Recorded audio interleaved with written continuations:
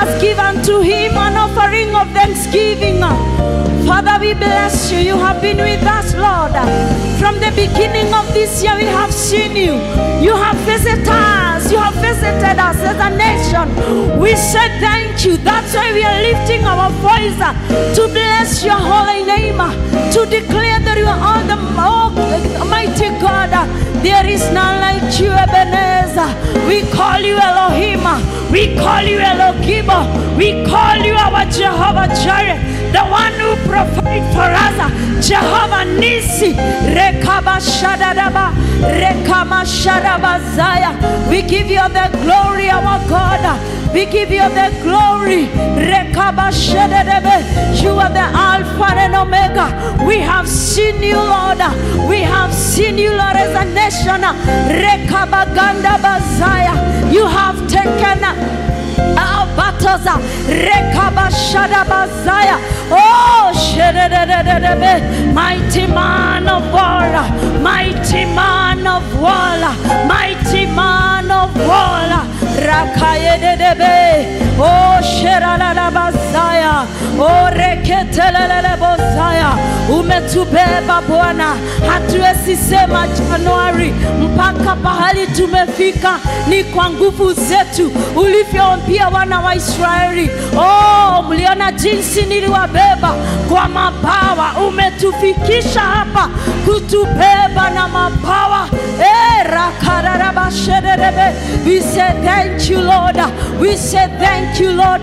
Wengine tuliandikiwa mpaka siku za kifo na adui, lakini wewe oh, ukatushindania, umetushindania, umetushindania. Wengine walia- waliahidiwa rekabaganda bazaya hawajapokea baraka zao, lakini tuko hapa kukushukuru. Ulinena wa rehema, hata kama haijatimia, tuko hapa kukushukuru. rekabashararaba rekananana masaya You have healed our nation. You have healed our lives. You have healed our children. You have filled us with your goodness. In the name of Jesus. Rekasharabazaya. Umetujaza na wema wako. Umetujaza na nguvu zako katika unyonge wetu umedhihirika. We bless your holy name. We bless your holy name. We give you all the praise. Rekabashedebe, tuseme nini Bwana, ila tuinue kikombe cha wokovu. Yeramasharabaganda rekatalalalabazaya rekeshelelelebe remashalalabazaya. Word says, ah, you told the children of Israel that I have not forgotten you. My word has still remain, still abide in me, still abide in you, even from the day you left from Egypt. My word, my covenant abides in you. Reba shatarabazaya, rekeshelelelebe, rema shakatarabazaya.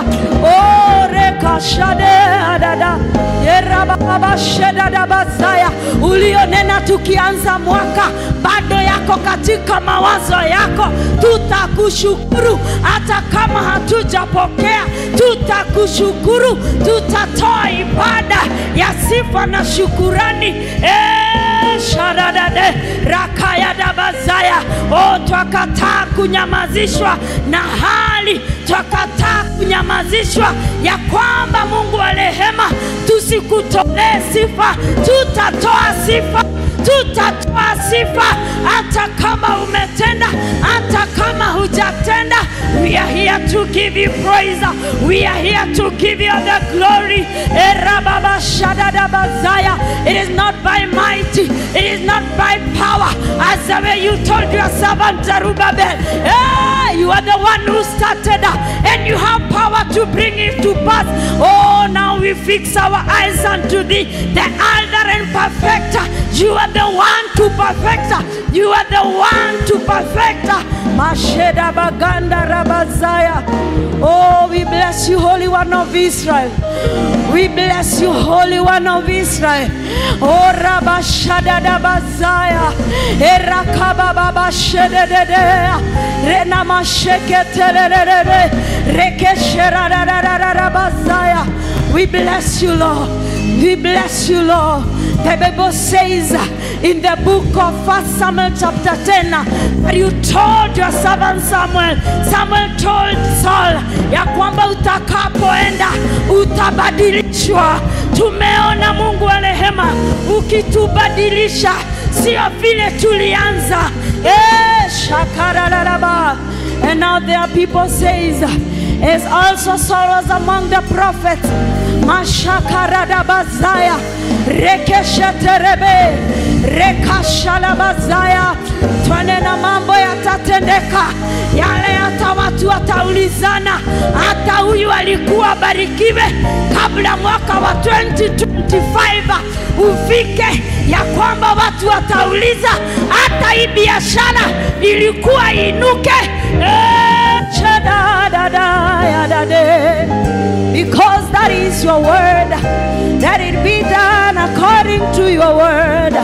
Let it be done according to your will. Let it be done in our lives.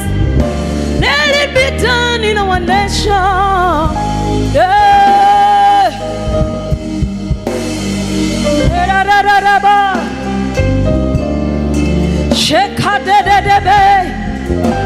nitakuabudu hey. Sharadade, tunakuabudu Yawe Sabaoth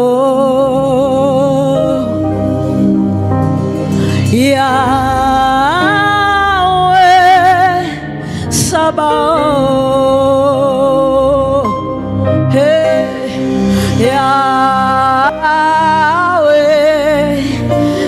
Oh.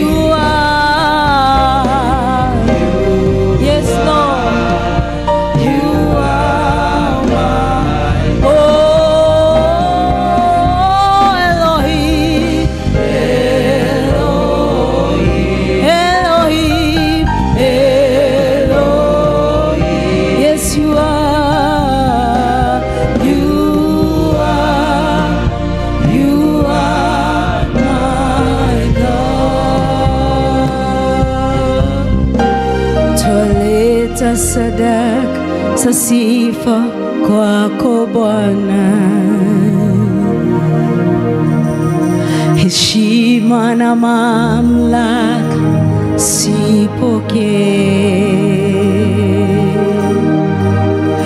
Mtakatifu, mtakatifu, na kuita mtakatifu. Oh Yesu, wewe mtakatifu,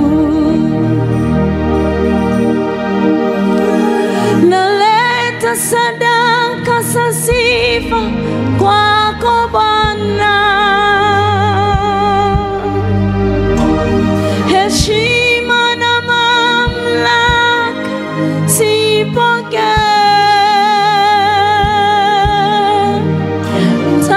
Mtakatifu, mtakatifu, na kuita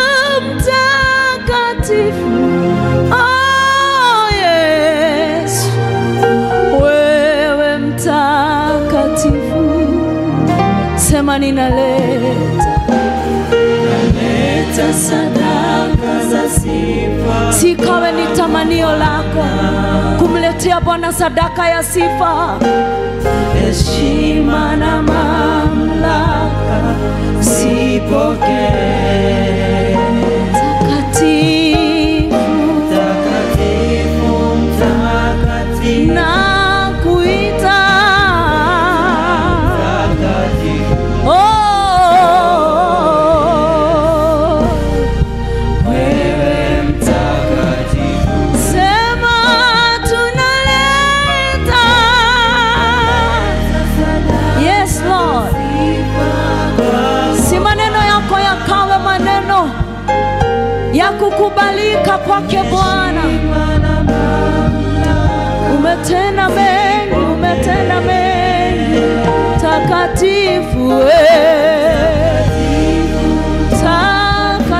Whom eh.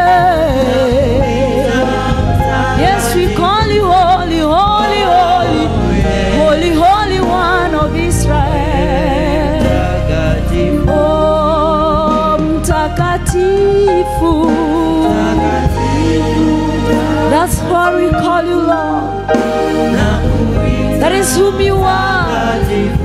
You are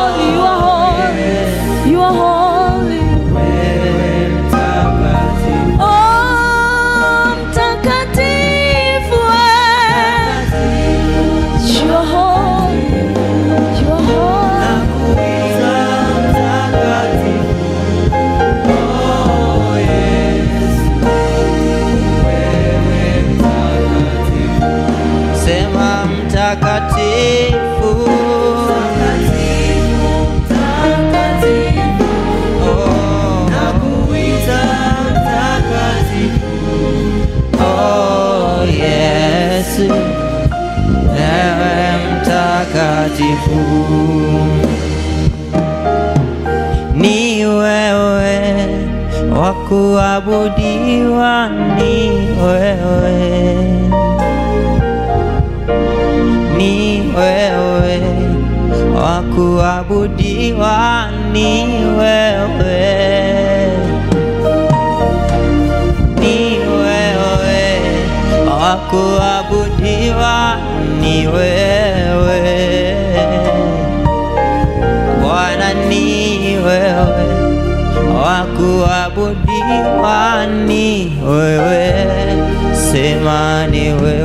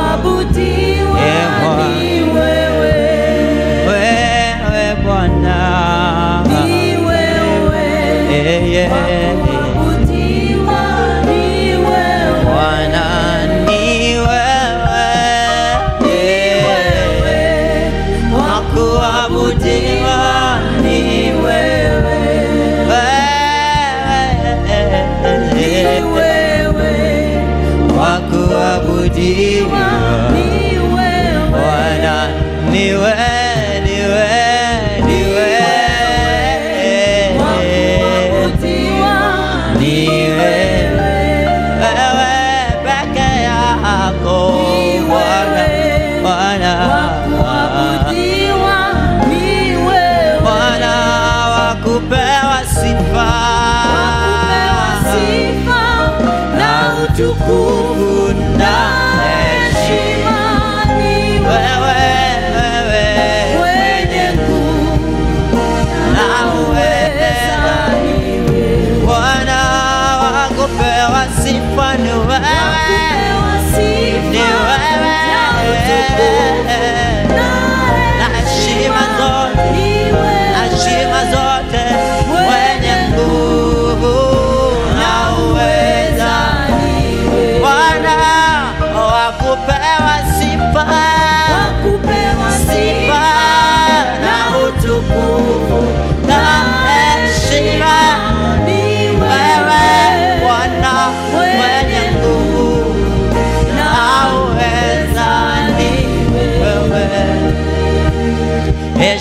heshima ya hali ya juu. Bwana wastahili ibada ya moyo wangu. Baba na kutolea heshima ya hali ya juu. Bwana wastahili nayo ibada yangu ibada yangu Baba na ku heshima ya hali heshima ya hali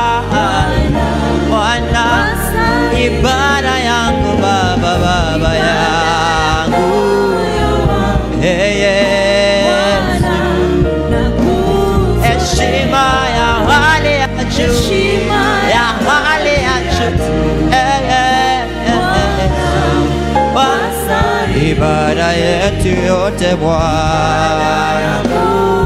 Ibada yetu yote Bwana. Heshima heshima yote heshima zote heshima zote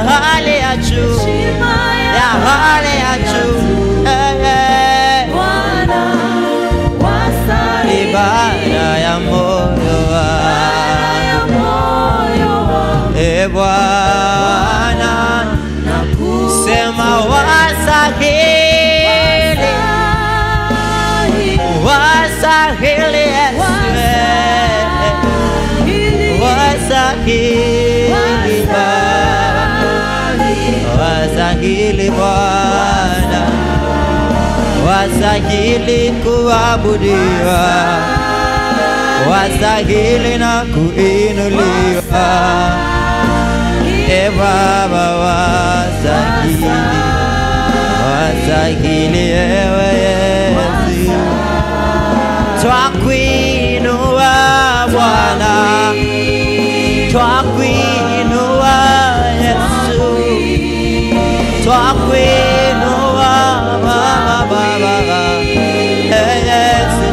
twakuinua twakuinua Yesu. Twakuinua Baba Yesu. Twakuinua Mungu wetu Eh, Baba yetu unatosha unatosha unatosha. Unatosha unatosha Baba yetu unatosha Baba yetu unaweza unaweza unaweza unaweza Baba yetu unaweza Baba yetu unaweza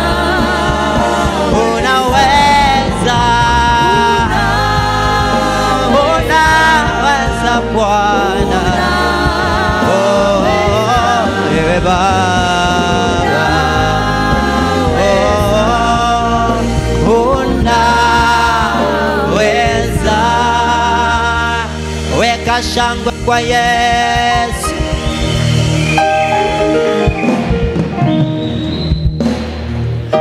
Unaweza, unaweza, unaweza mwana wa Mungu. Unaweza, unaweza, unaweza mwana wa Mungu. Bwana unaweza, Yesu waweza. Oh, unaweza Baba yetu, Baba we. Oh, unaweza, weza, weza, weza, weza, weza Baba.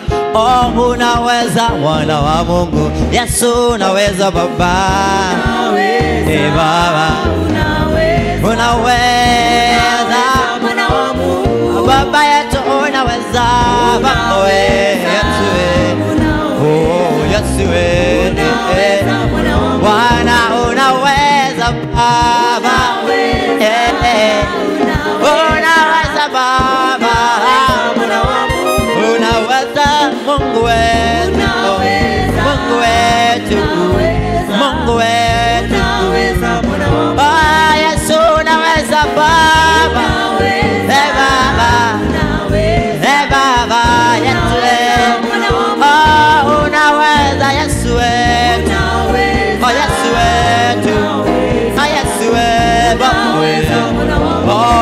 Unatosha, unatosha.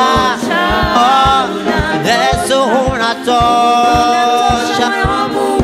Unatosha Baba. Yesu Baba we. Unatosha. Bwana wangu unatosha, unatosha Baba. Unatosha. Unatosha. Unatosha we Baba ye. Oh, Yesu wangu unatosha we Baba. Oh, unatosha. Unatosha. Eh, eh, eh. Eh, Baba yetu. Haya, weka makofi kwa Yesu, makofi kwa Yesu. Weka makofi kwa Yesu.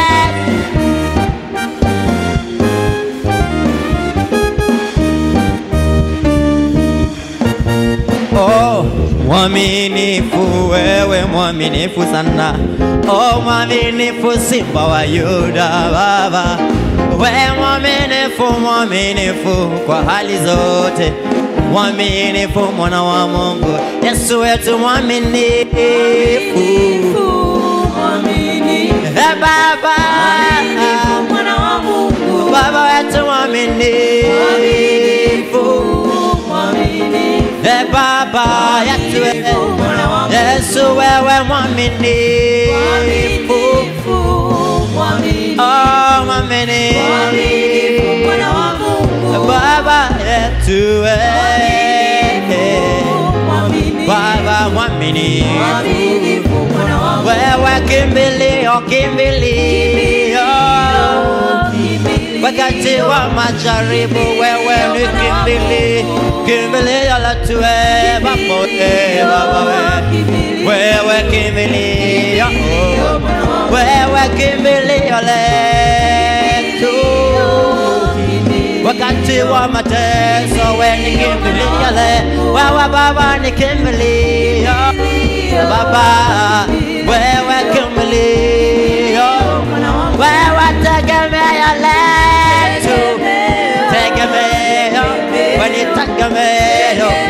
ni tegemeo, wewe ni tegemeo, wewe ni tegemeo, Baba, wewe Baba, wewe Baba, wewe Bwana, oh tegemeo letu wewe, Baba, wewe tegemeo wewe ni tegemeo letu oh, oh, oh, oh. Eh, Baba wewe unatosha Eh, Yesu wewe Baba papa Yahweh Oh we we wewe unatosha Yesu. E eh, baba baba we e baba wetu Baba wetu unatosha baba. Wewe unatosha. Wewe una tosha.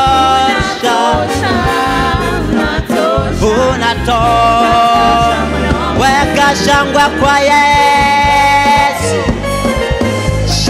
Shangwe kwa bwana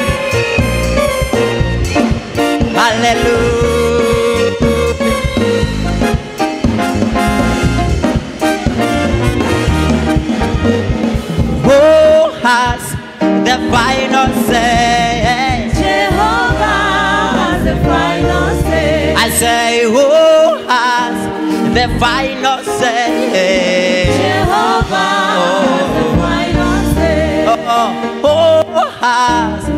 final say? Jehovah the final say. Ah, the final say? Jehovah the final say. Jehovah turn my life around.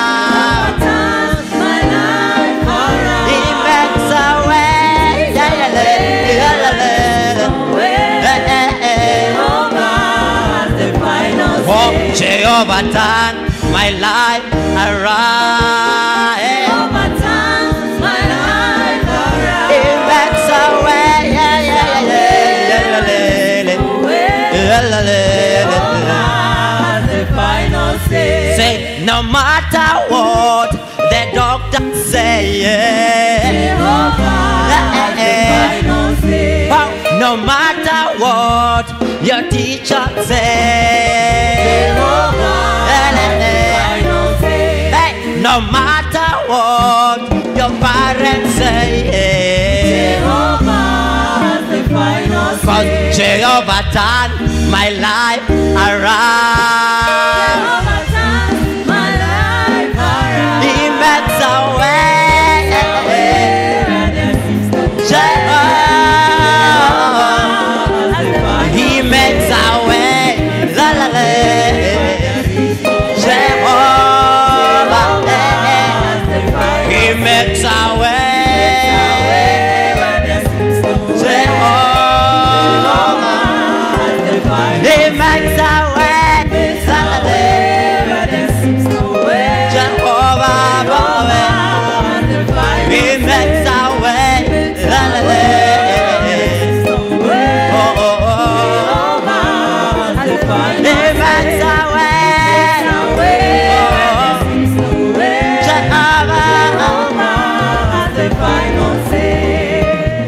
Katikati ya miungu hakuna Mungu kama wewe.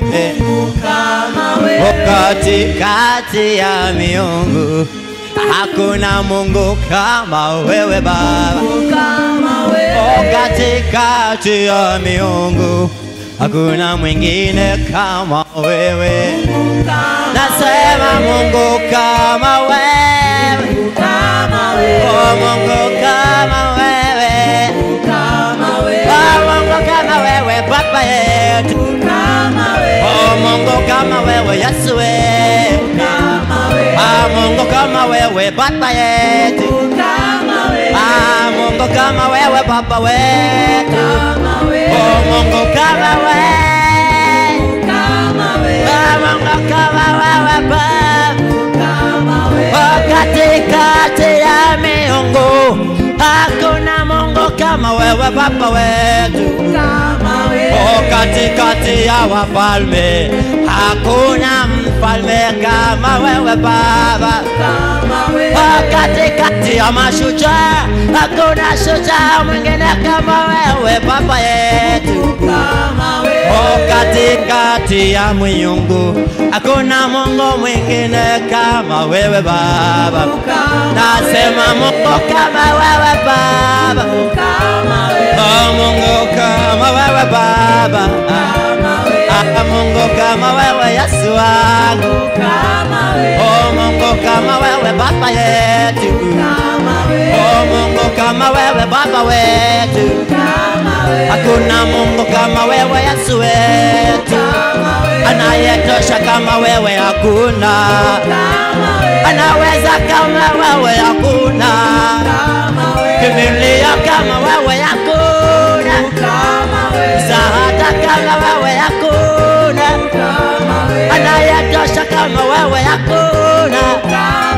hakuna, kama wewe hakuna. anayeinua kama wewe hakuna, hakuna, hakuna, kama wewe, hakuna Mungu kama wewe Baba, hakuna mwaminifu kama wewe, hakuna kimbilio kama wewe Baba, hakuna tegemeo kama wewe Baba, hakuna msaada kama wewe, hakuna tegemeo kama wewe, hakuna kimbilio kama wewe, hakuna msaada kama wewe, Mungu, Mungu, Mungu, Mungu kama wewe, hakuna kama wewe Bwana, weka shangwe kwa Yesu.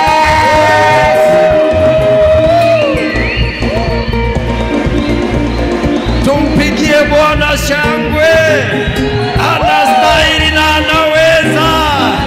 Yeye ni mfalme wa wafalme, hakuna kama yeye, mwenye nguvu na uweza, asiyeshindwa na jambo lolote, anayetupigania.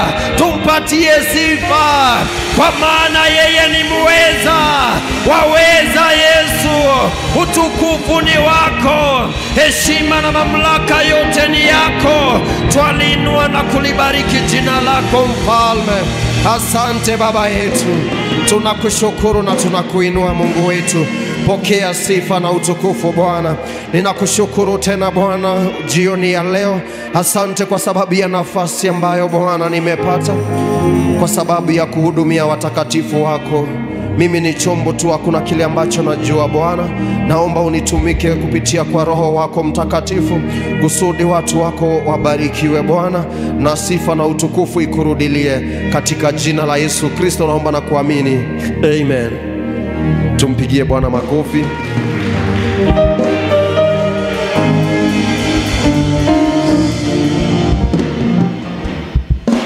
Bwana asifiwe, haleluya. Naitwa Jonathan Mochere, nimeokoka. Kristo ni Bwana. Nina furaha na kunyenyekea mbele za Bwana usiku wa leo kwa sababu ya kutunukiwa nafasi ya kuweza kusimama katika haya madhabahu uh, niweze kuhudumia watakatifu wa Mungu. Kile ambacho ninaelewa ya kwamba si ati ninajua ama naelewa sana, lakini kwa sababu ya huruma zake Mungu ndizo zimefanya nikaweza kusimama hapa usiku huu wa leo. Ningependa kuchukua nafasi hii kumrudishia Mungu shukurani nikisema ni asante kwa sababu ya kunihurumia. Ya pili, ningependa kushukuru mtumishi wa Mungu Pastor Isaac together na mke wake Pastor Julie kwa sababu kupitia kwao nimeweza kumwito kuwabariki na kuwainua. Eh, basi usiku wa leo naenda kuwa makutuongoza katika kujifunza neno la Bwana. Kama vile tunavyojua, tuko katika wiki ya tuko katika wiki ya Word and Prayer Festival e, tunapoendelea kufunzwa na watumizi, watumishi wa Mungu e, e, juu ya finishing strong. So nilipokuwa na tafakari juu ya finishing strong e, kidogo nikaanza kujiuliza maswali, ni nini ambayo inaweza fanya mtu akose kumaliza salama? So kuna lile jibu ambalo nitapa, nilipata ambalo nitaweza kuwapatia. So jioni ya leo tunaenda kujifunza about five things that provoke spiritual growth, vitu tano ambazo zinachochea uh, kukua kiroho. Uh, tusome 3 John 1:2. 3 John 1:2. The Bible says that, dear friend, I pray that you may enjoy good health and that all may go well with you even as your soul is getting along well. Nipatie na New King James.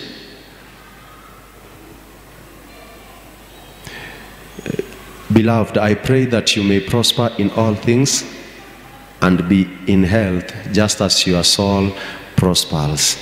So mwandishi alikuwa naomba ya kwamba kama vile anavyoendelea kukua kiroho, pia kimwili aweze kukua kiroho.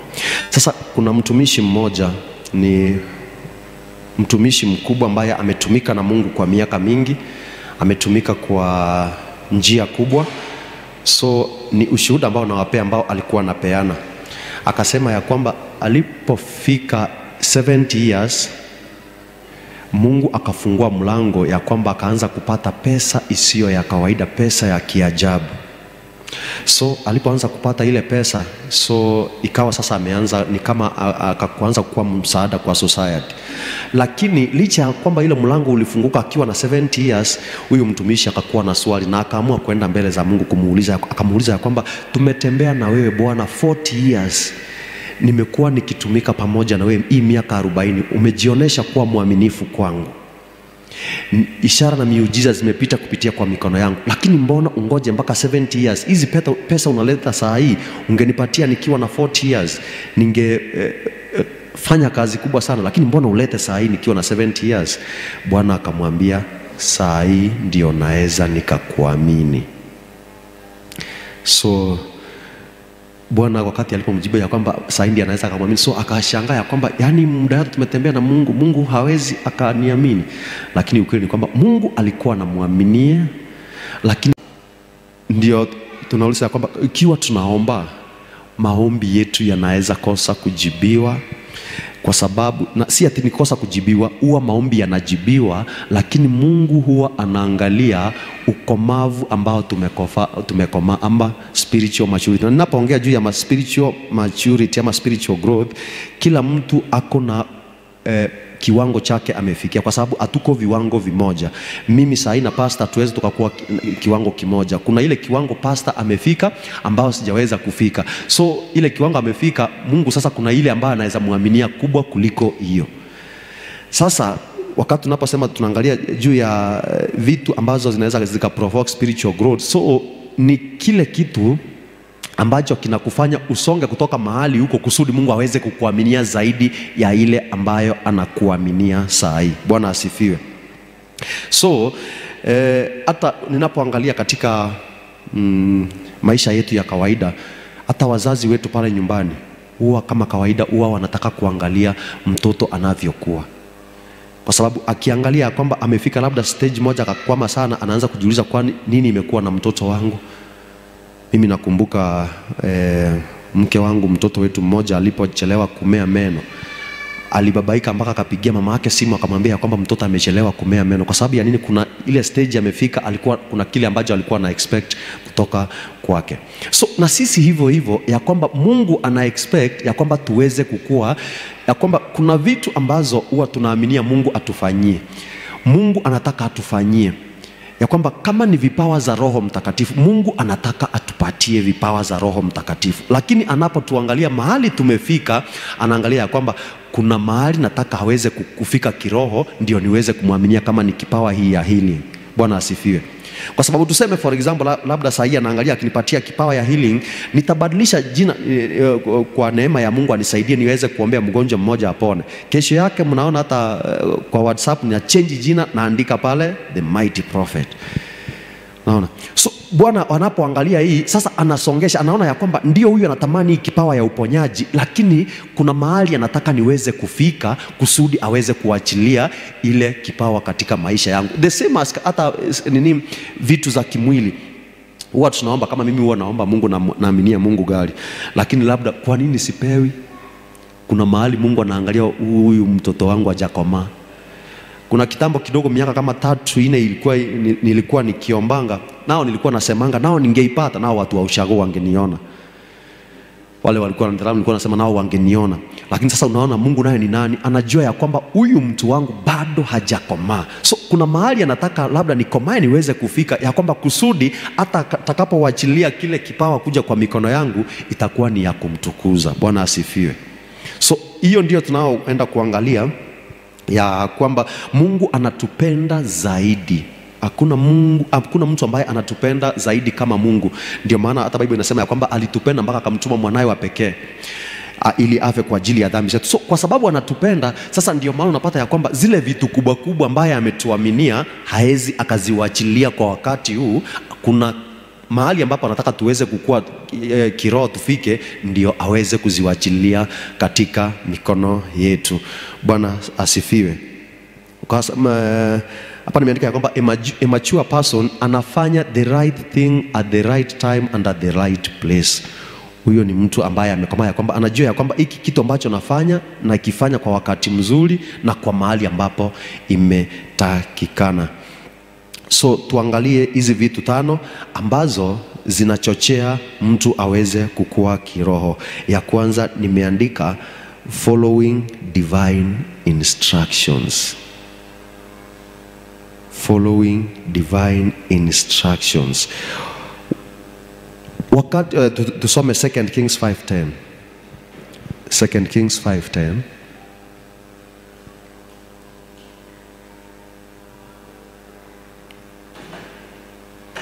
Second Kings 5:10. And Elisha sent a messenger to him saying, Go and wash in the Jordan seven times, and your flesh shall be restored to you, and you shall be clean. Amen. Huyu ni mtumishi wa Mungu ambaye amepatiwa instructions na prophet ya kwamba aweze ku, kuenda River Jordan, aweze kuoga ndio aweze kupona. So zile instructions ambazo amepatiwa na mtu wa Mungu ndio zimefanya akakuwa healed. Sisi katika haya maisha ambayo tunaishi ama katika haya maisha ambayo tunatembea na Mungu, kuna wakati unafika Mungu huwa anakupatia divine instructions, anakuambia kwamba nataka utembee hivi na hivi lakini unapata ya kwamba na nilisikia hata uh, our pastor akiguzia ya kwamba labda Mungu alitumia mtu uh, alipatia mtu divine instructions ya hiyo siku, lakini yeye akaifanya ikawa ya daily basis. Sasa na ikarudi akabadilisha, labda kama ni huduma akaifanya sasa ikakuwa ni kama cult. Lakini katika haya maisha ambayo tunaishi, kuna wakati Mungu anaweza kuongelesha ama akuambie ya kwamba hivi ndivyo nataka utembee ama ufanyange hivi kusudi uweze eh, kufikia kile ambacho nataka. For example, kuna ndugu mmoja alikuwa anasema ya kwamba hey, Bwana akamwambia ya kwamba utakuwa unafunga for the rest of your life e, mpaka wakati ambapo nitakuambia ya kwamba kutoka asubuhi mpaka jioni hautakuwa unakula chochote. Bwana asifiwe. So lakini eh, shida itakuja ni ya kwamba wakati ambapo nitaona ule ndugu matokeo imeanza kutokea, na mimi nianze kuiga kama vile ambavyo aliambiwa afanye na Mungu, pasipo kujua ya kwamba kila mtu amepewa njia yake ya kutembea pamoja na Mungu. Lakini most of the time unapata ya kwamba tunapopewa zile divine instructions huwa hatuzifuati na kile kitu ambacho tunapaswa kuelewa ni ya kwamba Mungu halazimishi mtu kufanya kitu, kwa sababu ametupatia uh, the power of choice. Katika kitabu ya Deuteronomy nafikiri ni 30:19 anasema ya kwamba amezishuhudisha mbingu na nchi, ameweka uh, ameweka mauti na uzima, baraka na laana, uchague. Mbona? Kwa sababu Mungu anajua ya kwamba tunahitaji baraka na tunahitaji uzima, mbona angetuchagulia? Lakini akasema eh, kwa neno lake ya kwamba ametupatia eh, eh, ametupatia eh, amezishuhudisha mbingu na nchi ya kwamba tuweze kuchagua. So Mungu ametupatia uhuru wa kuchagua. So hata wakati tunapopewa divine instructions ya kufuata katika haya maisha ambayo tunaishi, Mungu hawezi akakulazimisha. Lakini utaoneshaje ya kwamba umekomaa wakati ambapo unaanza kufuata divine instructions ambazo haukupewa na mwanadamu na hakuna mtu ambaye anakuchunga ya kwamba unazifuata? Ya kwamba umepatiwa maagizo na Roho Mtakatifu ya kwamba fanya hivi na hivi. Sasa yale maagizo, hakuna mtu ambaye ako nyuma yako ataanza kukufuata. Pasta hayuko nyuma yako aanze kukufuata akwambia ya kwamba mbona haufanyi kama vile ulivyoambiwa. Hapana, ni wewe sasa unaonesha ukomavu na mbingu zinakuangalia zione ya kwamba huyu mtu hizi divine instructions ambazo amepewa anazifuata.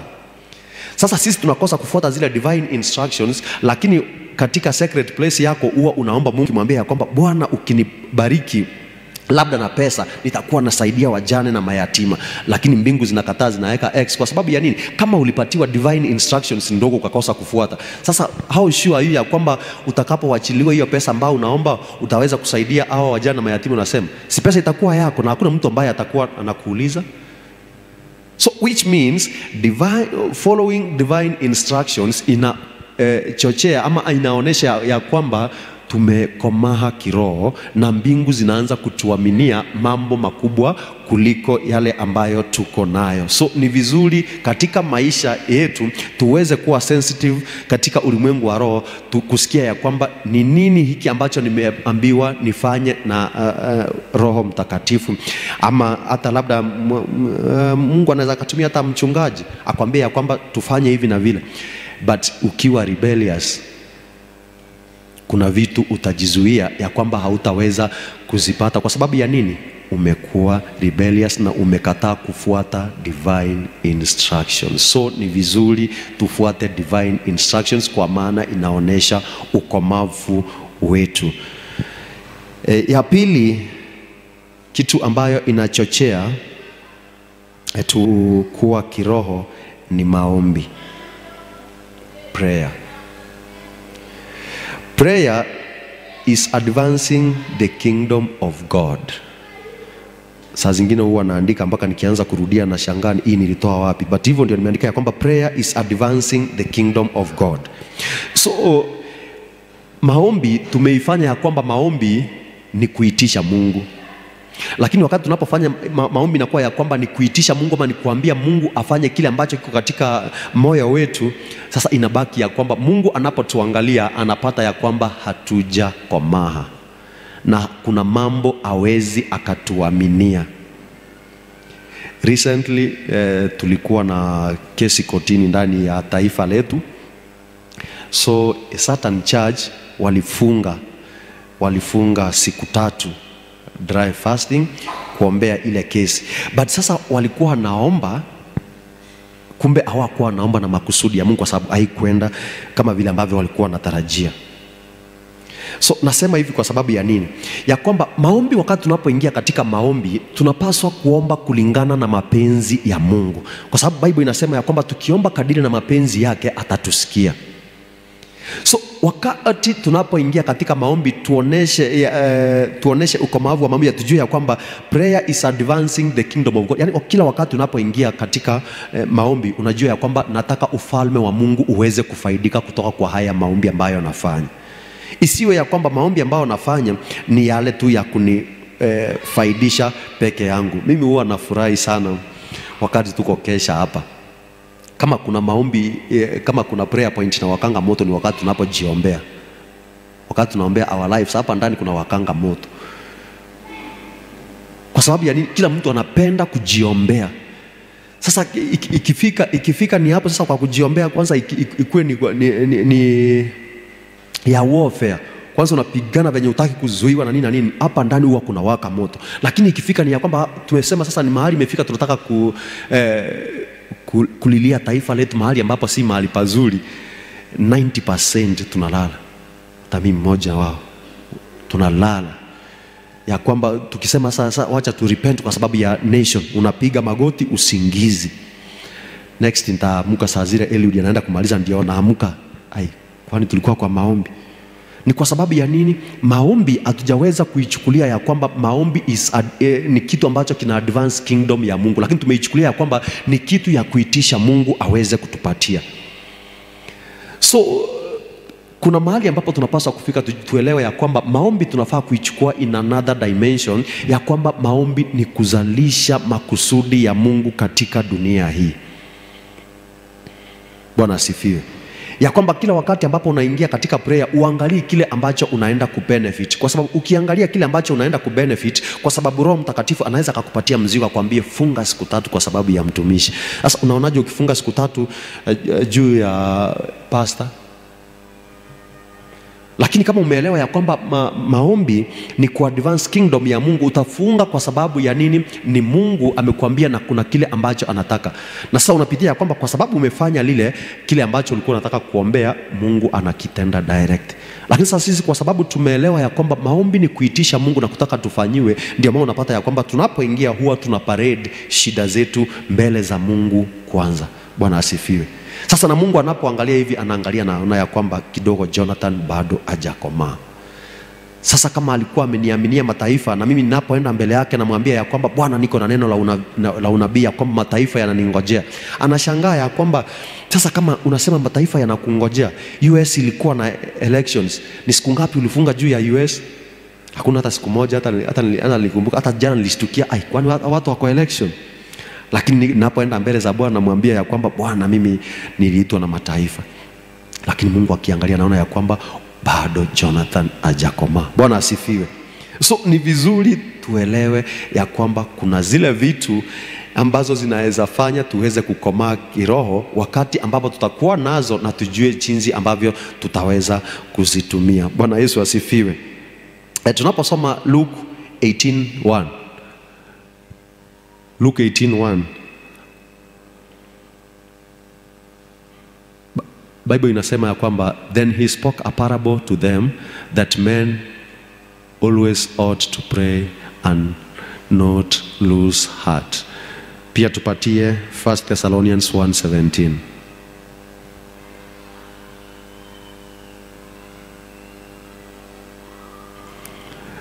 17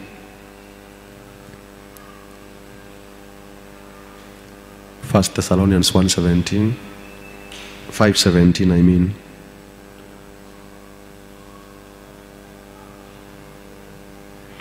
Pray without ceasing. So hizi two verses Yesu amesema pale juu ya kwamba men ought always to pray and not to faint.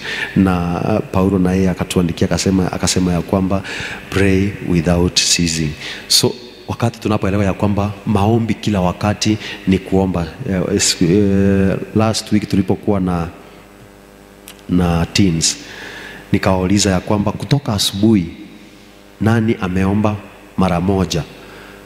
Walikuwa teens watatu ndio walikuwa wameomba kutoka asubuhi mpaka saa hiyo tulikuwa saa tisa. Ni mmoja alikuwa a, ni watatu ndio walikuwa wameomba mara moja. Watatu walikuwa wameomba mara moja. So nani ameomba mara mbili eh, ni wawili. Nani ameomba mara tatu? Ni mmoja ameomba mara tatu. So ikafika nikawauliza leo kutoka asubuhi nani amekula breakfast akakula lunch? Na sasa anangojea sapa na hapa katikati amepitisha tu snacks. Walicheka sana kwa sababu walijua wamesiaka kusiaka kutoka asubuhi. But sasa ndio nikauliza nika, nika sasa itakuwaje sasa mnakaa hivyo bila kuomba kutoka asubuhi mpaka saa hii lakini eh, kukula mnakula. Mbona, mbona mnadhamini kukula sana? So ndio tukasoma Matthew 4:4 ambayo inasema ya kwamba Yesu uh, alimjibu akamwambia kwamba mwanadamu hataishi kwa mkate tu bali kwa kila neno litokalo kwa kinywa chake. So kama yesu alijua ya kwamba mwanadamu hawezi ishi kwa mkate tu so ataishi kwa neno. Wakati unaposoma neno neno ndio inakuchochea uweze kuomba sasa ndio tukaulizana juu ya kusoma neno na, na, na hiyo kuomba tukapata ya kwamba ni wachache ambao wanafanya hivyo. So tukaanza uh, uh, kufunzana nao tukisema ya kwamba so kama tunataka kuingia ndani zaidi lazima tujifunze kusoma neno na kuomba. So na sisi kuna mahali ambapo itafika ya kwamba mungu anapotuangalia ya kwamba kutoka nitoke kesha usiku labda nilienda nikalala after kulala maombi niliomba ni ya dakika tano kutoka hapo tena maombi ingine nimekuja kuipata hapa kanisani sasa na mimi niko hapa nasema ya kwamba eh, niko Dandora Kingdom Seekers, kanisa ambalo litazalisha uvuvio. Tutaja, tutasaa uvuvio kama hata kuomba eh, kutoka nitoke kesha nimeomba 5 minutes. Sasa uvuvio utatalishwa kule na 5 minutes? Iwezi kazalishwa na 5 minutes so lazima tujue ya kwamba kuna dimension ambayo tutaingia in prayers ambayo uh, ulimwengu wa roho unapoangalia unajua ya kwamba eh, huyu mtu amekoma. Nilikuwa nasikiza mtumishi mmoja alikuwa anasema ya kwamba anaweza amua anajifungia three days kwake kwa nyumba, hatoki nje, ni kuomba tu anaomba, lakini anasema si kitu ingine anaomba, labda anaombea hitaji ambalo liko ndani ya Mungu. Nikaomba Mungu ya kwamba hata mimi siku moja Mungu anisaidie niweze kufika hiyo kiwango. Uh, tuende jambo la tatu ambalo litatusaidia ama litatuchochea tuweze kukua kiroho ni thanksgiving. Thanksgiving. Tusome Job 1:21.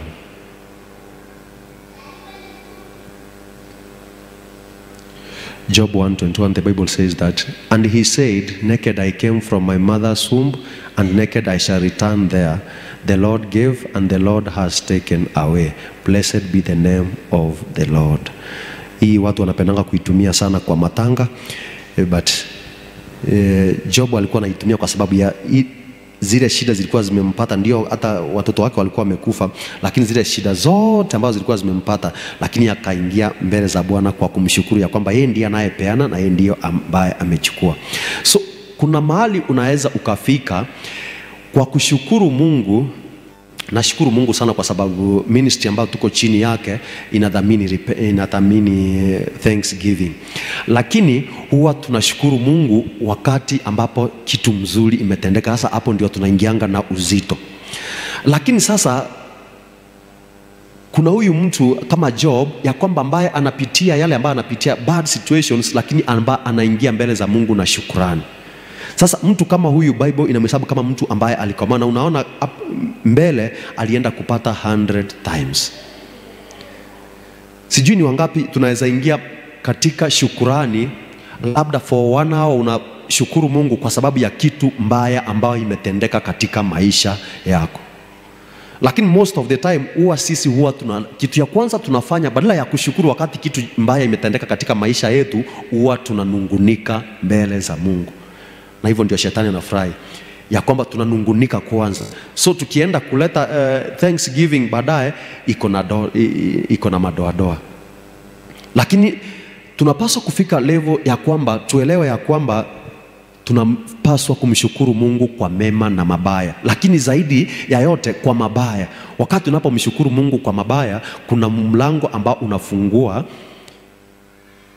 Kwa sababu ya nini? Umeonyesha ile ukomavu ambayo uko nayo. Nilikuwa naangalia ni nani yule, ni Dansan, eh, Oyekan, wakati ambapo mke wake alipokufa alikuwa anatoa ushuhuda, alikuwa anasema ya kwamba mke wake alipokufa alichukua muda sana kushukuru Mungu. So aliposhukuru Mungu sana, so akasema kutoka hapo kuna ministration alikuwa anapaswa kuenda. Sasa amezika uh, mke wake. Sasa kawaida mila ya Waafrika kuna ile time unapatiwa ya kwamba uweze kutulia, uweze kurikava ndio uweze kurudi katika huduma. Lakini akasema ya kwamba alipomshukuru Mungu sana, sasa akasikia Roho Mtakatifu akimwambia enda ukaministe kwa watu wangu. So anasema kwa watu wake ilikuwa ni kitu ya ajabu, kwa sababu angeshangaa kwani alikuwa anatakia mke wake mabaya manini but anasema katika ule mkutano e, nguvu za Bwana zilishuka, watu wakapona, viwete wakatembea eh, kwa sababu ya kuimba tu wimbo moja. Ni kwa sababu ya nini? Aliingia katika shukurani akimwambia Mungu asante. Sasa jaribu kuimagine, sasa alikuwa anashukuru Mungu aje, asante kwa sababu bibi yangu alikufa alikuwa anamshukuru asante kwa sababu umemchukua kwa wakati kama huu. Sasa alikuwa anamshukuru kwa njia gani? Ya kwamba mke amekufa, lakini ameingia katika thanksgiving. Lakini katika kuingia ile, katika ile thanksgiving kuna kitu Mungu alitenda katika maisha yake. So na sisi tunapaswa kujifunza ya kwamba thanksgiving eh, mostly kwa bad things huwa inaonyesha ukomavu wetu ya kwamba wakati taifa amba, uh, letu la Kenya linapopitia changamoto ya hapa na pale, hatufai kunungunika, hatufai kuanza kubind the devil, lakini tunapaswa kuingia mbele za Bwana tumshukuru ya kwamba asante kwa sababu ya haya yote ambayo tumepitia, na Biblia inatuambia ya kwamba all things work together for good for those who loves the Lord and has been called according to his purpose. Sasa tukijua hivyo ya kwamba hata kitu mbaya ikikuja katika maisha yetu tuanze kumshukuru Mungu, tumwambie Bwana ya kwamba Bwana, asante kwa sababu ya hili na lile, na kupitia kwa ile mbingu inaangalia, inaona ya kwamba kweli huyu mtu amekomaa na kuna mahali ambapo amefika, ya kwamba hatuwezi tukafurahia Mungu tu kwa sababu ya mazuri, kama vile mke wa Ayubu. si alikuja akamwambia ya kwamba tukana Mungu na ufe, bati akamkataza akamwambia ya kwamba nani alisema ya kwamba unaweza ukafurahia Mungu kwa mazuri peke yake? But mimi ningekuwa kwa viatu ya Job, naona ningefuata mke wangu, kwa sababu mke ameona mbele na ameniambia, ningemsikiza tu. Lakini Job kwa sababu ni mtu ambaye alikuwa amekomaa, akaelewa ya kwamba hiyo sio njia ambayo unaniambia, kuna njia moja ambayo inahitajika na ni hii, na akaingia katika kumshukuru Mungu. So na sisi tujifunze ya kwamba katika haya maisha kama vile tumesema ya kwamba hata maombi unaweza omba maombi ikose kujibiwa, lakini kumbe ilijibiwa ni wakati wake haujafika. Sasa ukikosa kuelewa hivyo, uende mbele za Mungu kwa manunguniko, utakosana na Mungu. Lakini ukiingia kwa shukurani, uanze kuambia Mungu asante kwa sababu ya maombi yangu imejibiwa. Unaambia Mungu asante kwa sababu ya maombi ya miaka kumi ambayo imejibiwa. Labda utasongesha ile miaka kumi irudi kama miaka mbili ama hata mwaka mmoja. Bwana asifiwe. So tujifunze kuambia Mungu asante kwa kila jambo, liwe zuri ama liwe mbaya, kwa kila situation ambao tunapitia, tujifunze kuambia Mungu asanti, na kupitia kwa ile tutaweza kuona Mungu akitenda katika maisha yetu. Jambo la nne that provokes spiritual growth ni vision. Proverbs 29:18.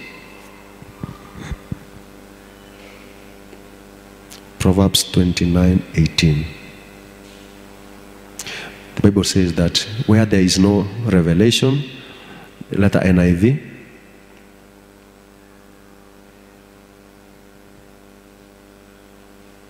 NIV, where there is no revelation, people cast off rest, uh, restraint, but blessed is he who keeps the law. Kuna version nilisoma sijui ni gani pastor, inasema ya kwamba where there is no vision, people perish. So hiyo ndio nilikuwa natafuta, ya kwamba mahali ambapo hakuna maono watu huangamia. So wakati katika maisha yako uko na maono, ulimwengu wa roho unapoangalia, unajua ya kwamba huyu mtu amekomaa. Ndio ni K- eh, eh, KJV, where there is no vision the people perish, but he that keepeth the law happy is he. So katika maisha ya kila mwanadamu tunapaswa kuwa na vision. Sijui ni wangapi tuko na vision, kwa sababu kama hauna vision ni kuonesha kitu ya kwanza ya kwamba haujakomaa na hakuna mahali unaenda. Lazima ukuwe na vision na the exact. Ndio maana Yeremia aliulizwa ya kwamba unaona nini, akajibu, na alipojibu akaambiwa umeona sawa. So na sisi lazima ukuwe na vision ya kwamba pale mbele unaona nini, kwa sababu huwezi anza kufanya ama kuanza kuenda kama hujui mahali unaenda. Kama vile nilivyoanza kusema ya kwamba kuna watu ambao tunaaminia Mungu kwa mambo makubwa ama labda uh, mambo na pesa ya kwamba pesa kubwa ipitie katika mikono yetu, naambia Mungu, lakini hatujaweka vision ambayo Mungu ataangalia aweze ku, kuona ya kwamba hii ndio ambacho unataka kufanya nikikupatia pesa. So pesa ikikuja, wewe utakuwa custodian, pesa haitakuwa yako, bali utakuwa custodian. Lakini unapata ya kwamba wengi tunataka kutembea bila vision. Haujaambia Mungu ya kwamba ukinipatia hiki nitakuwa nafanya ABCD. Bwana asifiwe. Nilikuwa nasoma eh, kitabu ya Rick Warren, A Purpose Driven Life. Ilinifungua mawazo mahali ambapo sikuwa naelewa. Anasema ya kwamba kila mtu alipoumbwa katika huu ulimwengu aliletwa na purpose ya kwamba kila mtu unapaswa kuuliza Mungu kwa sababu yeye ndiye ako na manual yetu ya kwamba ulinileta hii ulimwengu kufanya nini. So ukielewa hivyo utakuwa na vision amahali ambapo unaenda, kwa sababu ndio unapata ya kwamba saa hii watu huwa anakimbia hapa, anagonga ukuta, anarudi tena, anaanza hapa, anakimbia huko, anagonga ukuta. Ni kwa sababu ya nini? Huyu mtu hajui mahali anaenda. Lakini ukiwa na a clear vision mahali ambapo unaenda mbingu itaona ya kwamba huyu mtu amekomaa, na sasa utawachiliwa zile vitu zote ambazo ulikuwa unahitaji katika kutimiza kile ambacho umeitiwa. Bwana asifiwe. So Ricky Warren akasema, akasema ya kwamba kitu ya kwanza Mungu huwa anatuaminia. Sasa anakuaminia nini hii ambacho hujataka kujua ya kwamba ni nini hii ambacho alikuweka ndani yako ambayo anakuaminia. So lazima tuelewe ya kwamba kila mtu alikuja kwa kusudi. Sasa kama uliletwa kwa kusudi, lazima ukuwe na vision. Hata katika huduma kama hii unaweza pata ya kwamba naweza tamani kushika microphone kama hii, lakini ukweli ni kwamba labda si kuitwa katika kushika microphone.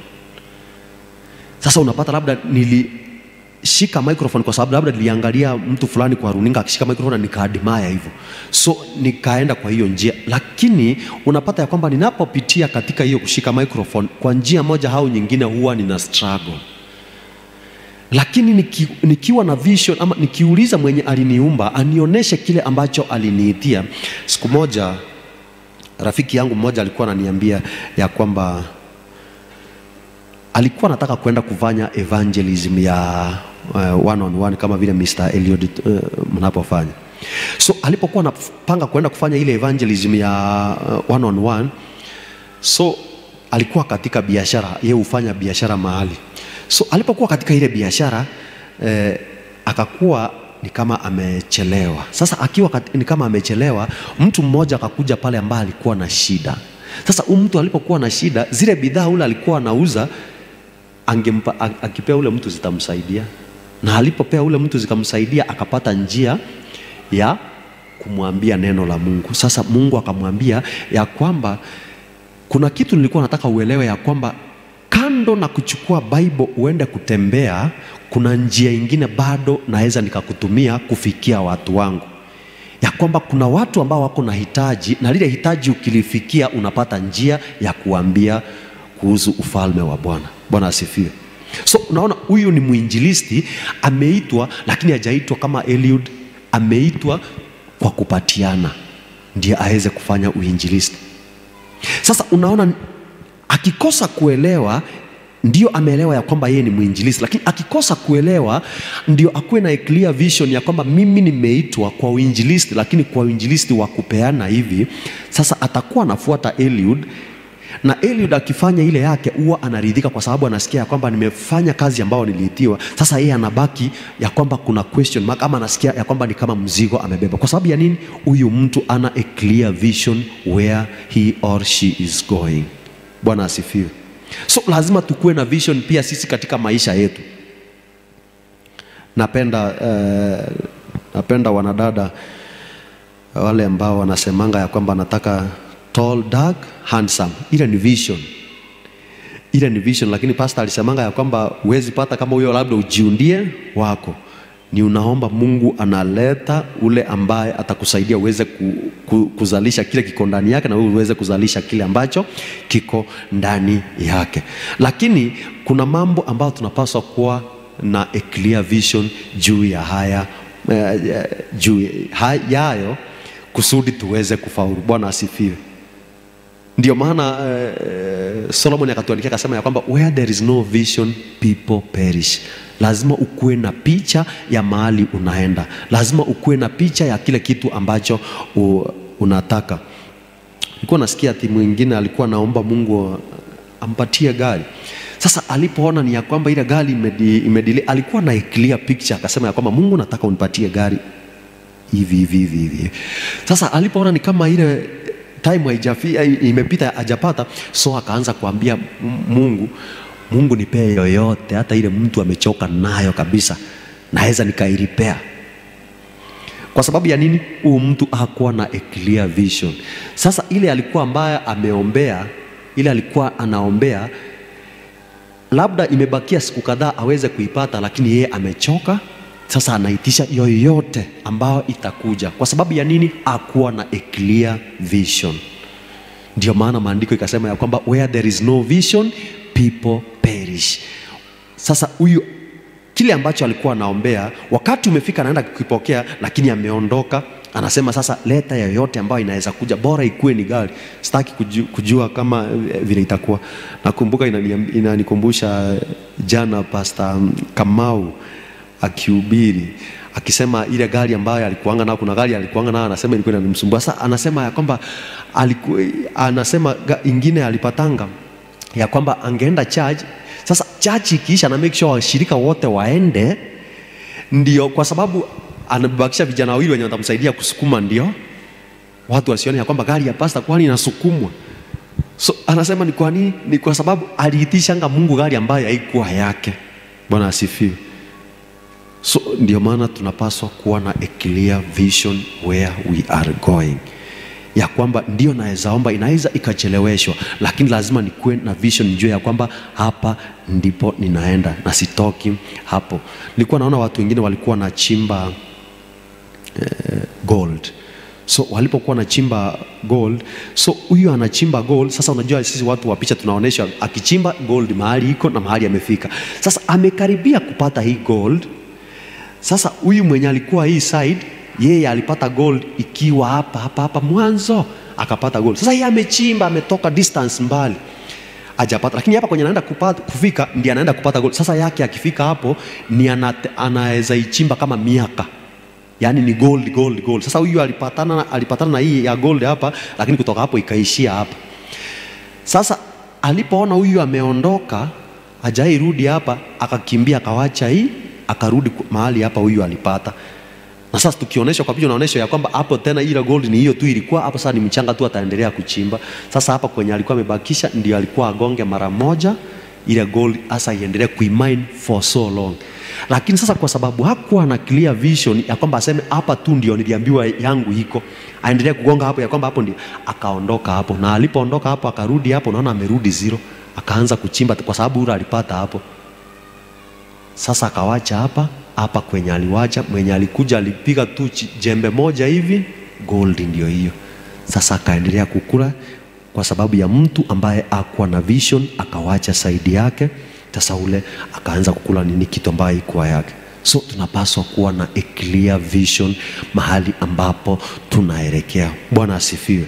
Ukiwa na vision, mbingu itaona ya kwamba huyu mtu amekomaa na kuna vitu tutaaminiwa. Bwana asifiwe kwa sababu mbingu itaangalia kwamba huyu kweli mtu amekoma. Kama amekuwa persistent kwa hii kitu hivi kumaanisha ni vision ambayo ni kitu ambayo anaamini ni imani yako nayo ya kwamba hapa ndipo anapoenda habahatishi.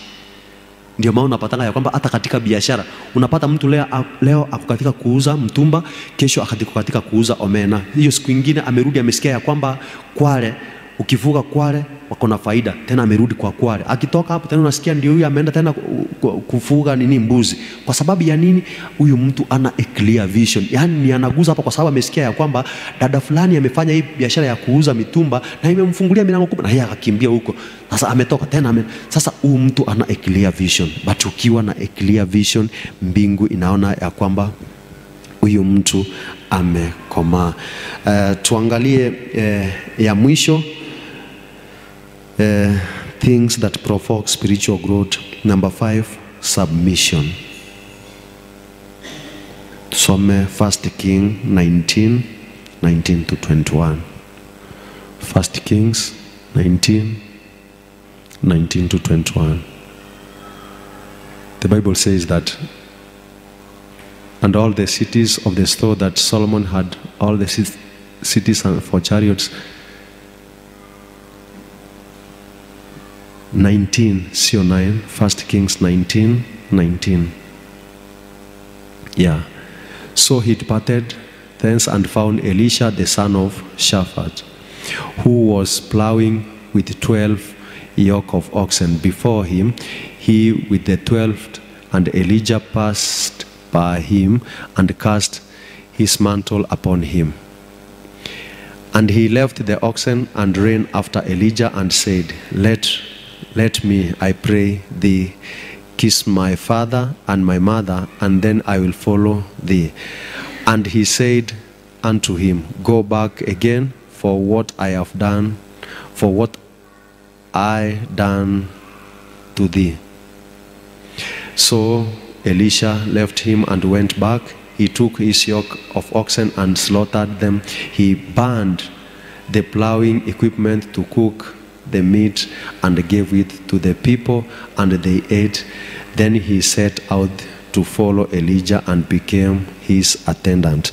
So Elisha ni wakati ambapo ameamua kujisubmit fully kwa Elijah.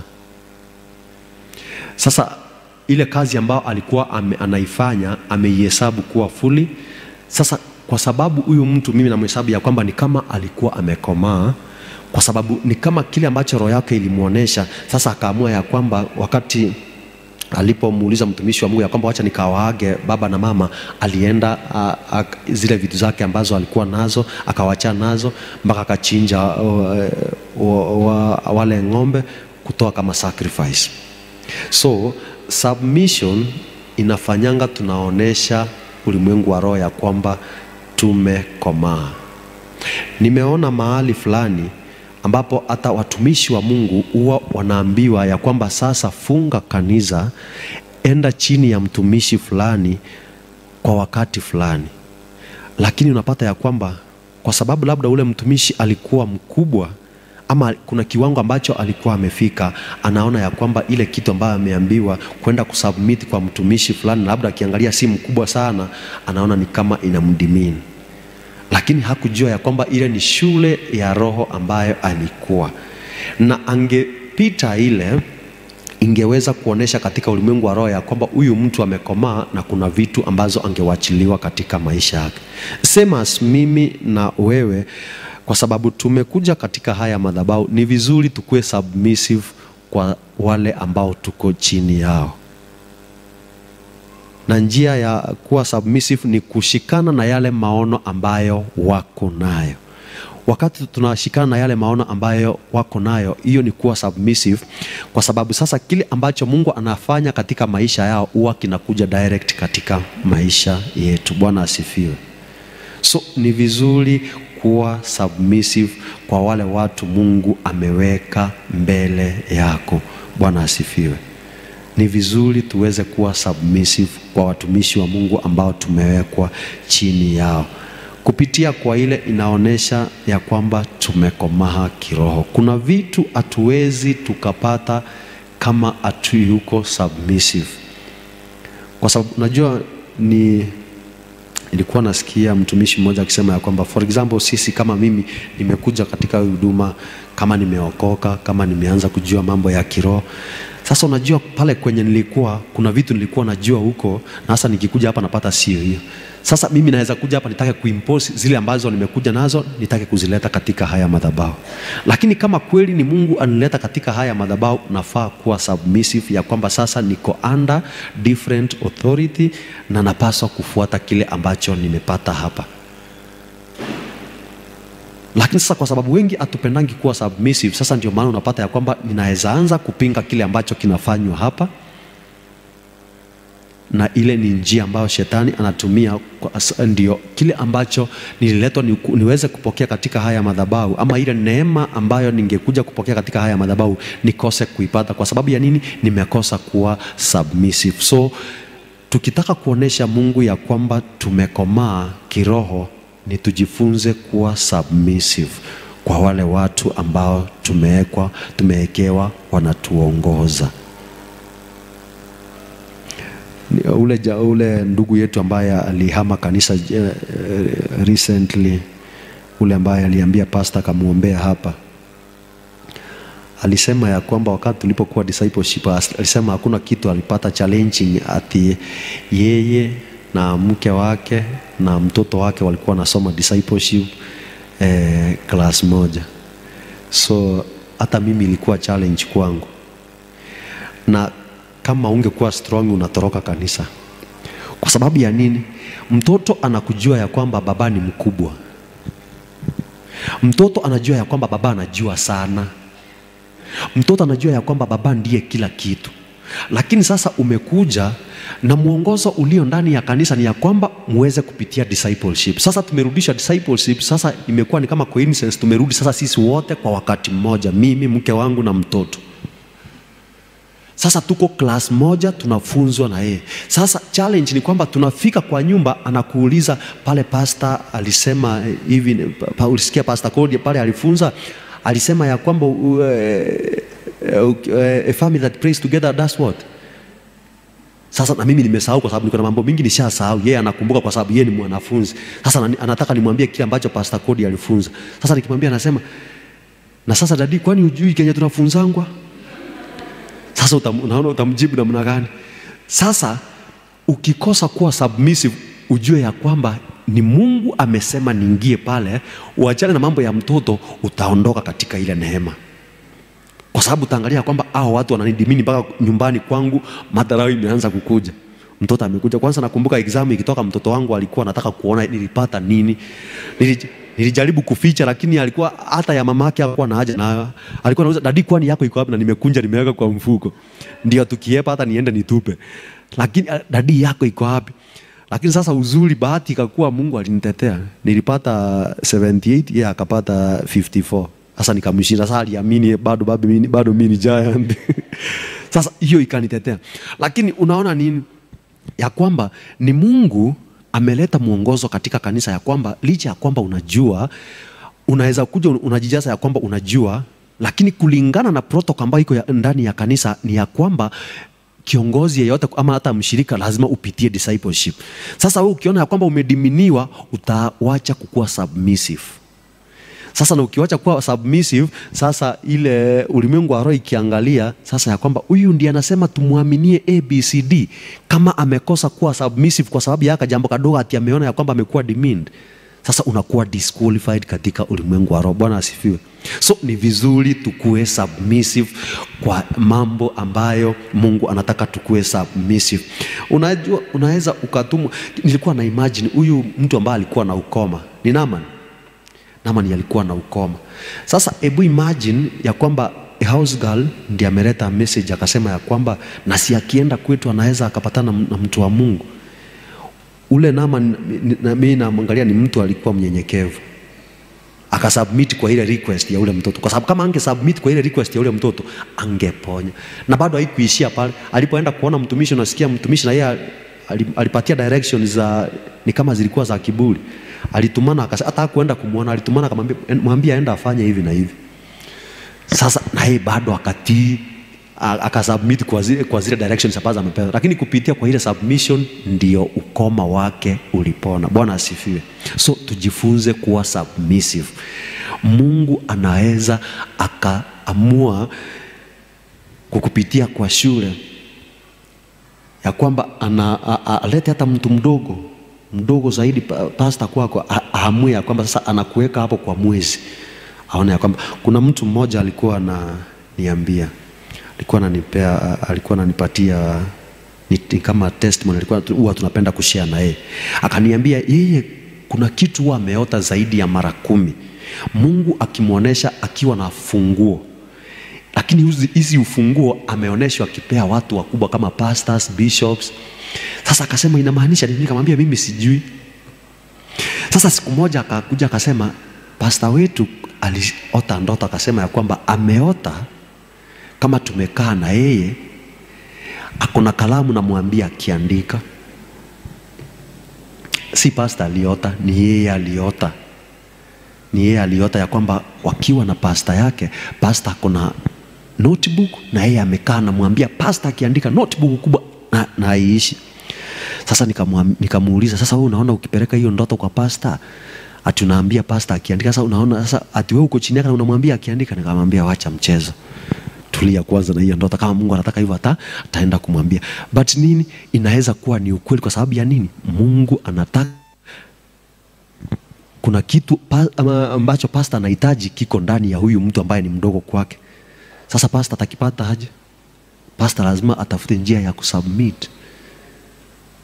Unajua hiyo ni ngumu sana, ni ngumu sana ati mafuta ambayo iko juu atiweze kusubmit ni ngumu sana, but it needs the grace of God. Lakini kwetu sisi ambao ni wadogo, mimi na wewe, si tukue submissive kwa wale watu ambao tumewekwa mbele yao, ya kwamba kile ambacho Mungu anataka tuweze kupata tukaweze kukipata. Situsimame tuweze kushukuru Mungu na tumwambie ya kwamba aweze kutusaidia tuweze kukua kiroho, hata ndio tuweze kumaliza mwaka uh, salama. Bwana, tunakushukuru, twasema ni asante, asante Mungu wetu kwa sababu ya uaminifu wako. Tunakushukuru Baba yetu kwa sababu ya neno lako ambalo umetupatia tena usiku wa leo. Bwana, situsaidie ya kwamba tutaweza kuwa kiroho katika jina la Yesu Kristo. Tusaidie Bwana, tuwe submissive Mungu wetu kwa wale watu ambao umeweka mbele yetu, ama kwa wale watu ambao Bwana unataka tuwe, tuweze kusubmit kwao. Tusaidie Mungu wetu katika jina la Yesu Kristo,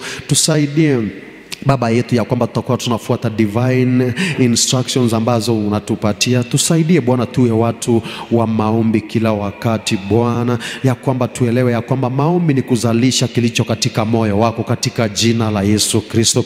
Tusaidie ewe Bwana, kwa ajili ya utukufu wa jina lako. Tusaidie Bwana, tuwe na clear vision hata katika maisha yetu. Ni mambo mengi unataka kutuaminia, lakini hatuna maono, so tusaidie Bwana, tuwe na maono na hata tuweze kuyaandika chini katika jina la Yesu. Tusaidie Mungu wetu, maandiko imetuambia kwamba where there is no vision people perish. Tusaidie Bwana wa majeshi, tusaidie Mungu mwenye nguvu na uweza, katika jina la Yesu Kristo. Tunakushukuru Baba yetu, tusaidie Bwana wa mabwana, kwa ajili ya utukufu wa jina lako. Tunakushukuru na tunakuhimidi Mungu wetu, pokea sifa na utukufu, ni katika jina la Yesu Kristo twaomba na hata kushukuru. Sasa tutaenda kujiandaa katika kutolea Mungu sadaka. Mm, Maandiko inasema ya kwamba tusije mbele zake mikono mitupu, so tutaenda kulibariki jina la Bwana kupitia kwa matoleo yetu, na hata wale ambao mko online. Eh, paybill yetu ni eh, 793116 793116 hiyo ndio paybill ya kanisa, haikati kitu chochote. So karibu tuweze kumtolea Bwana sadaka zetu.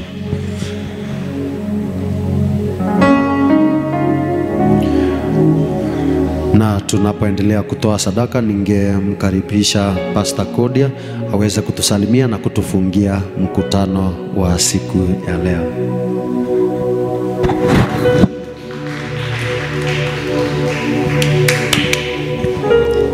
Haleluya. Bwana Yesu asifiwe. Uh, let's appreciate uh, Minister Jonathan kwa vile ametuhudumia vizuri. Sijui kama umeshika hizo point vizuri, na Mungu wetu atusaidie tukaweza kukomaa katika maisha yetu. Amen. Tusimame kwa miguu yetu. Nataka uweze kwenda mbele za Bwana tunapofunga ibada jioni ya leo. Mwanzo kabisa ukashukuru Mungu. Amen. Haleluya. Wacha nikupe pointi tatu za kushukuru Mungu. Sijui hata kama ni tutaomba maombi ingine, tutaomba na direction ya kushukuru. Kwanza kwa sababu ya neno lake. Haleluya. Si tulisema tunashukuru Mungu kwa mambo mengi, lakini hili neno ambalo linatufanya tuishi tunasahau kushukuru. Sifungue kinywa chako, inua mikono yako mbele za Bwana, mwambie Bwana, ninakushukuru, umenilisha, umeninywesha, umenivalisha, umeniweka nguvu, umenihuisha tena. Thank you for your word. Lord, I'm grateful.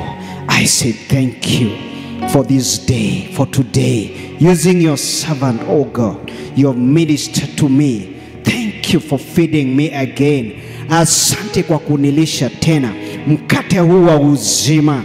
Bwana, ninasema ni asante kutoka kwa moyo wangu Bwana, ninasema ni asante. Umenibariki kupitia kwa neno lako, ulilituma Bwana likaweze kuponya, likaweze kuhuisha, likaweze kuinua, likaweze kunitia hekima mara tena, na kushukuru Mungu wetu katika jina la Yesu. Asante hata kwa ajili ya wiki hii, wiki ambayo ni ya neno na maombi Bwana, the, word, the week of uh, prayer and word festival.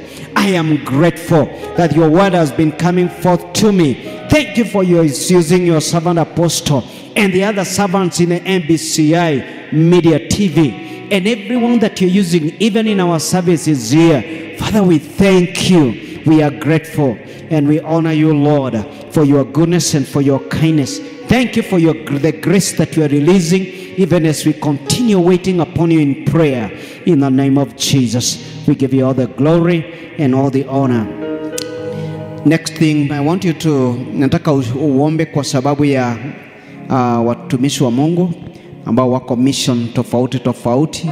Tutashukuru kwa ajili ya wale ambao uh, wameenda Zambia tayari. Uh, Pastor Manasse nimeona update yake, wamevuka mpaka, wame cross border, wameenda sasa hivi wako Tanzania, wamevuka Namanga on their way to Zambia na watafika kwa neema ya Mungu. Si waombee wanapoendelea na safari yao. Kwa hiyo basi, pahali popote watapita, Mungu akamwambia Joshua in the book of Joshua chapter 1 verse 3, wherever you stop with the sole of your shoe I will give you for your inheritance. Shukuru Mungu kwa ajili ya hiyo timu ambayo inaelekea Zambia. Mwambie Bwana, unaongoza nyayo za wenye haki, najua wale pia utawaongoza. The word of God also says that how beautiful are the feet of them that bring the take the good news. Tutatangaza ya kwamba miguu yao italeta, um, italeta udhamana kila mahali ambapo wataenenda na kila mahali ambapo watakanyanga. It will just be prof it will be prophetic. It will not just be another convoy, another, another entourage, lakini itakuwa ni prophetic, itakuwa ni unabii ya kwamba mahali pale wakienda, Mungu atatupatia, tutamiliki, tutapata na watu wetu mahali pale wakiwa Tanzania na nchi zingine zozote watakazopitia katika jina la Yesu. Ombea wale ambao wako Heaven's Gate ya kwamba Mungu wetu atawabariki, Mungu wetu atawainua, Mungu wetu atawatumia, Mungu atawanenea wanapoomba, ya kwamba maombi yao itapenya na Mungu ataweza kuwatumia kwa njia kuu, hata kuwasilisha mausia yake in the mighty name of Jesus. Father, we thank you for your servants, O Lord, even as we prepare for, for Zambia mission, O God. This week we pray for those that are on the way. Keep moving with them, O Lord. Keep helping them and go, God, watch over them. We thank you, Father, for Pastor Manasseh and the team, O God. We thank you for your grace upon them, my Father, in the mighty name of Jesus. Thank you for your servant, Pastor Isaac, Pastor Julie, and the rest of the team, oh God, even as they continue seeking your face, oh God. Pray, continue helping them and using them. Na wengine wote hata Apostle John Kimani William na wengine wakijiandaa kwa ajili ya, ya, ya, ya mission ya Zambia. God Almighty, anoint them, use them to the glory and honor of your holy name. We thank you, we bless you, and we worship you. In Jesus' mighty and wonderful name, we have prayed with thanksgiving, and all of us say amen. We bless you Heavenly Father and we honor you. Tunakushukuru sana Mungu wetu, umetenda mambo mengi ya ajabu. Oh, we thank you. We thank you. Hata kwa ajili ya mvua. Ah, fungua kinywa, nimekumbushwa jambo lingine. Just tell God thank you. Tuliomba hapa last week na ninakumbuka nikiomba very specifically wiki hii tukashukuru ya kwamba wiki hii mvua itanyesha, na kusema ukweli, Mungu ameleta mvua kabla wiki haijaisha. Sio mwambie Bwana ni asante kwa sababu ya mvua ambayo imenyesha kwa wakati wake. Tulimuita, tulimulilia na tukatazamia kwamba mvua itanyesha kwa wakati, na mvua imenyesha. Tunataka kushukuru Mungu. Tunajua ya kwamba tume, watu wengi wamenena, wengine wamesema mvua itachelewa ama itakosa kuja, kutakuwa na kiangazi, lakini Mungu kwa rehema zake tu, labda ilikuwa ni hivyo katika ulimwengu wa kiroho si, lakini Mungu ni mwema na ni mwingi wa rehema na neema, maana tulitubu na tukalia mbele zake, ametuia radhi. Sehemu nyingi za nchi kwetu usiku kumenyesha mvua kubwa sana, na sehemu nyingi za nchi zimeanza kupokea mvua. Bwana, tunasema ni asante.